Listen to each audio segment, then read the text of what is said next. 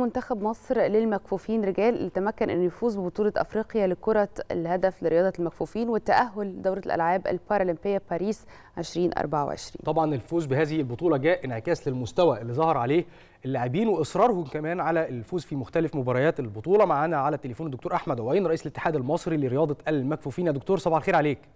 أهلا وسهلا صباح الخير على حضرتك. يا أهلا بيك يا فندم. في البداية ألف ألف مبروك طبعا التألق والفوز بهذه البطولة. لكن عايزين نفهم استعداداتكم لهذه البطولة كانت عاملة إزاي؟ هل كنتم مستعدين وعارفين إن أنتم هتفوزوا بيها؟ اولا شاكر جدا محمد بيه وتحياتي جوانا هانم صباح الخير على الجميع وصباح الخير على مصر كلها الجميلة المنتصرة دايما إن شاء الله رب العالمين. منتخب مصر لكرة الهدف رجال من من الفرق اللي خدت إعداد وتجهيز كبير جدا وطويل جدا لأن أنت لما تتكلم على صناعة البطل دي مسألة ما هياش بالبساطة. صح. ومفيش بطولة أهم من إنك تؤهل لأولمبياد. ال Paralympic Games في باريس 2024 من أهم المنافسات ومن أهم الإيفنتات اللي أي اتحاد وأي لاعب وأي مدرب وأي إداري بيفخر ويشرف إن هو يتأهل ليها. ناهيك إن شاء الله عن إن هم يعملوا حاجة كمان كويسة على مستوى المنافسة العام القادم إن شاء الله. المنتخب خد إعداد وتجهيز. طبعا خد إعداد وتجهيز. يكفيني إن أنا أقول لحضرتك إن المنتخب ده بيتجهز من طوكيو 2020 اللي بقى لنا أربع سنين بنجهز في هذا الفريق وقبيل طوكيو وإحنا بنقول إن شاء الله بنجهز للمشاركة في باريس 2024 لكن ما كناش بنقول كلام وبس الناس القريبة من الاتحاد القريبة مننا تعرف كويس قوي كلامي. ما بنتكلمش كلام إحنا بنشتغل ولينا. والنتيجة باينة. الحمد لله الحمد لله. عندنا زي ما اتعلمنا المقدمات بتؤدي إلى نتائج. البطولة صعبة جدا عنيفة جدا المنافسة شرسه جدا منافسة آه قوية وجميلة وفيها نزاهة لكن كله عايز يكسب. الفرق صعبة جدا فرق مش سهلة. آه هذه المقدمات اللي عملناها بقالنا أربع سنوات الفريق ده خد حجم كبير جدا من المعسكرات الداخلية والمنافسات الخارجية. يعني لسه لسه راجع. كان بينافس في بطولة الألعاب العالمية ببرمنجهام كان بيلعب في بطولة ودية دولية في تركيا. بطولة دولية ودية هنا هنا في مصر. لسه فايز بذهبية بطولة أهرامات مصر اللي نظمناها الشهر الماضي. عظيم. ده الحاجات الأخيرة بس. يعني أنا مش مش مش ما أقدرش اسرد لك الأربع سنوات حطوا فيهم إيه. لكن على مدار الأربع سنوات هذا الفريق ما وراهوش غير إنه آه يعسكر ويتدرب ويتجهز آه إعداد بدني على اعلى مستوى إعداد فني على اعلى مستوى جهاز فني آه مؤهل جدا جدا جدا. ده مش هتكلم بقى على دعم وزارة الشباب والرياضة ومتابعه الدكتور أشرف صبحي شخصيا لتطورات هذا الفريق لحد ما وصلنا الحمد لله لهذه البطولة والمنافسة واللي ربنا أكرمنا فيها والمنافسة استمرت لآخر ثواني من من المباراة. ودي حلاوتها يعني. طبعا إحنا أكيد. عندنا يقين إن إحنا هنكسب إن شاء الله. يعني زي ما حضرتك قلت يعني كان في مقدمات أفضت إلى نتائج. طيب دكتور أحمد خلينا نعرف برضو تفاصيل أكتر عن منتخبنا الوطني آه للمكفوفين رجال. آه عايز أعرف من حضرتك عدد المنتخب وصل آه كام آه من اللاعبين؟ أعمارهم بتتراوح من كام لكام؟ قلنا بعض التفاصيل عنهم. ممتاز أشكر حضرتك وأنا هانم على هذا السؤال ده ده سؤال هيفسر إيه اللي كان بيحصل؟ اتفضل. إحنا الفريق بيتكون من ست لاعبين. لكن المنتخب اللي في الأجندة اللي, اللي الستة دول بيطلع واحد ويدخل واحد ويطلع اثنين ويدخل اثنين ال- اللي في أجندة الجهاز الفني واللي, واللي إحنا بنشتغل عليه 12 لاعب. لكن اللي بيشارك اللي بيشارك في البطولة ست لاعبين تخيلي حضرتك؟ دقة الاختيار و و وعندك آه، آه، ال- الشغل اللي عملتيه بيساعدك إن أنت تختاري ضمن آه، مساحة ورقعه واسعة من اللاعبين أي حد من ال 12 يقدر ينزل يكسب بإذن الله. اخترنا الستة أو الجهاز الفني اختار الستة اللي هم اوريدي جاهزين وخاض بيهم هذه المنافسات. أعمار ال ال ال الشباب وده سؤال يعني بقى ده ده ده هو رمانة الميزان. إحنا أكبر لاعب في الفريق آه، عنده آه، آه، 25 سنة. أكبر. لاعب في الفريق. وأصغر لاعب؟ أصغر لاعب عنده 17 سنة. ده مش أصغر لاعب أنا عندي عندي 17 18 19 21 سنة. هي دي اللعبه يعني من 19 ل 21 من اسف من 17 ل 21 17 ده العالم بيعتبره ناشئ. لكن إحنا صعدنا من الناشئين ثلاث لاعبين آه، بقى أصبحوا أساسيين دلوقتي والمنتخب الكبير ما يستغناش عنهم. بقول لحضرتك اللعيب اللعيب الأكبر 25 سنة. يعني بسم الله ما شاء الله اللعيب ده الفرقة دي تقدر تلعب مع بعضها زي ما هي كده.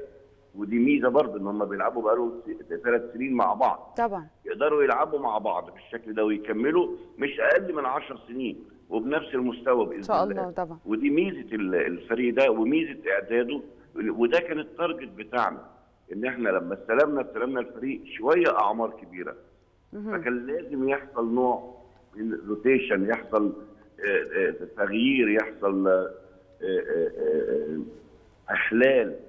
لأن ال- اللعبة عنيفة جدا مم. لعبة سريعة جدا فمحتاجة لياقه عالية محتاجة سن آه، ما شاء الله كده يعني شباب ويقدر يصد على على صعوبة ال- ال- الماتش.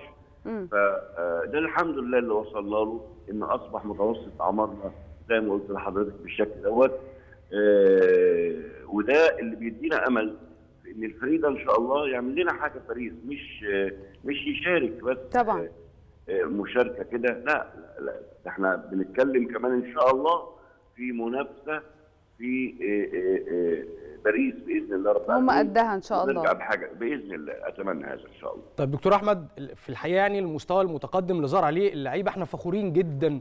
بما قدموه خلال هذه ال- البطولة وأكيد مستنيين منهم الكثير آه، في آه، الأولمبياد. لكن آه، زي ما حضرتك قلت إنه كل المنتخبات وكل اللعيبة داخلة عشان تفوز بهذه البطولة لكن بيكون في صعوبات وبيكون في تحديات قدام ال- اللعيبة. إيه هي أبرز التحديات وإزاي قدرتوا تتغلبوا عليها؟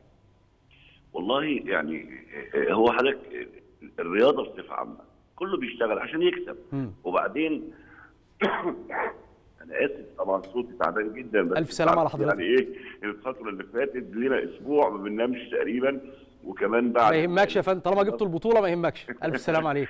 الحمد لله فمعذرة يعني.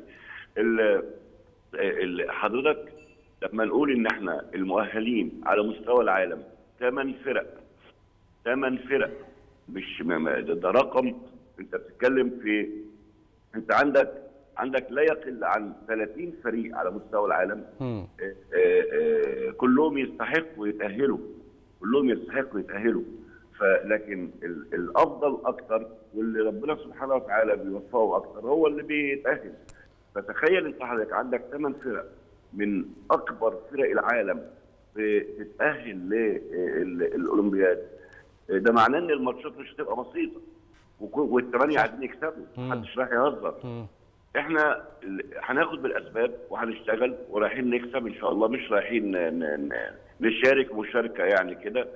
آه ولذلك أنا ببعت الشكر فعلا ل ل ل ل للدكتور أشرف صبحي ولوكلاء الوزارة في الشباب والرياضة لأن هم قعدوا معايا أول امبارح مش مش امبارح أول امبارح بعد النهائي مباشرة وكانوا حاضرين طبعا ومشرفينا في النهائي آه، واتكلمنا على طول إحنا عايزين خطة إعداد. وكلفت الجهاز الفني فورا ب- وهو في عز فرحته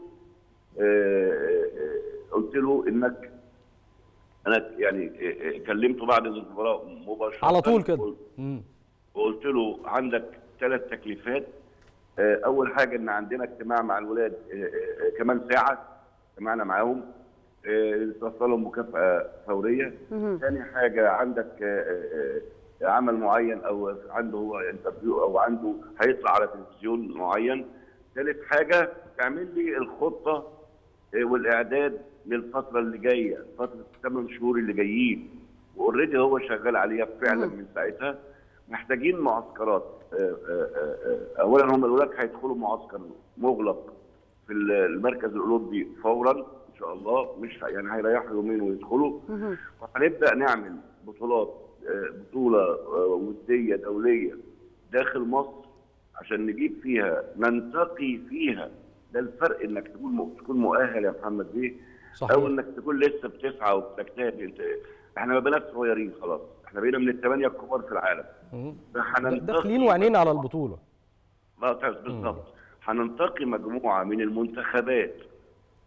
اللي إحنا محتاجين نشتغل معاها وندعوها في بطولة ودية دولية قوية في مصر إن شاء الله. وبنشتغل على آه، آه، الاحتكاك خارج مصر وده مهم جدا جدا. جدا جدا. ده اللي إحنا بنشتغل عليه ده اللي إحنا محتاجينه. محتاجين الولاد آه، يبعدوا عن الضغط ال- ال- العصبي والضغوط المعتادة في هذا الأمر. لذلك إحنا جهزنا بالفعل المعد المعد بدني. آه، محترم جدا. آه، جهزنا كمان معد آه، آه، نفسي أو طب اخصائي هايل نفسي. دي نقطة مهمة جدا.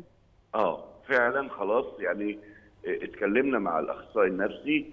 آه، الكلام ده كله خلاص يوم الخميس النهائي كان يوم الخميس أو امبارح وبعد الماتش اللي خلصان الساعة 6 مساء آه، نهينا الاحتفال بال- بالختام وبدأنا نشتغل للجديد هي دكتور يمكن. الروح والحماس آه، اللي حضرتك بتتكلم بيهم أعتقد هم أكبر آه، مؤشر على ليه منتخبنا الوطني قدر إن هو آه، يوصل لهذا آه، المركز الحقيقي وقدر إن هو كمان يتأهل لدورة الألعاب البارالمبية لباريس 2024 آم، الاهتمام بالتفاصيل والاهتمام بأدق أدق يمكن احتياجات لاعبينا وأبطالنا طبعا ده أكيد سر نجاح وده يمكن اللي خلى حتى لاعبين عندهم الحماس ده. والحقيقة يمكن كمان زميلي شاذلي يعني حابب إن هو يجي ويصور كمان مع طبعا أبطال نتمنى هو قال كمان منتخبنا. الدكتور أحمد قال إن إحنا دلوقتي بنجهز اللعيبة عشان لو حد هيعمل انترفيو أو يطلع في لقاءات. تلفزيونيه نتمنى يكون لنا نصيب طبعا. يعني حضرتك حضرتك بتتكلم. محمد عمال يشاور لا لا لا شرف ليك. متحمس قوي إن هو طبعا. لا لا أهلا بيك في أي وقت. إحنا اللي نتشرف يا فندم والله بالتصوير مع. الأبطال. إحنا اللي سعداء وشاكرين جدا لدعمكم. إحنا اللي سعداء بيكم والحقيقة فخورين بيك بحضرتك وطبعا ومنتخبنا آه، الوطني المكفوفين آه، رجال آه، بنشكر حضرتك جزيل الشكر. آه، طبعا دكتور آه، أحمد عوين رئيس الاتحاد المصري لرياضة المكفوفين. شكرا لحضرتك يا فندم.